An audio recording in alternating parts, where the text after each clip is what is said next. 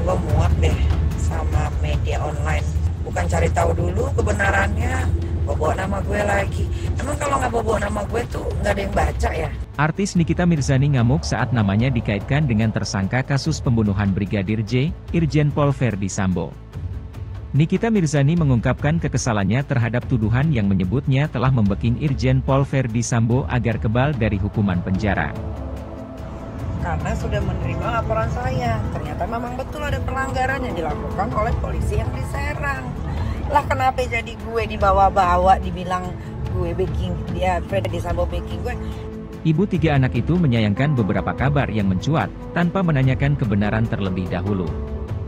Diketahui, Nikita Mirzani sebelumnya pernah mengadukan kepolisian serang ke Propam. kalau waktu itu gue mengadukan kasus gue polisi Serang ke Propam memang harus ke Propam. Karena polisi untuk dilaporin itu memang ke Propam. Dan gue sebagai warga negara Indonesia yang tidak dapat keadilan ya gue minta keadilan ya ke mana? Ya ke Propam. Nikita Mirzani mengaku bahwa sikapnya dilakukan demi mendapat keadilan artis 36 tahun itu membantah pernah menyebut nama Irjen Pol Verdi Sambo dalam ucapan terima kasihnya. Nikita Mirzani menjadi sorotan setelah disebut-sebut mempunyai hubungan dengan ex-kadif Propam Irjen Pol Verdi Sambo.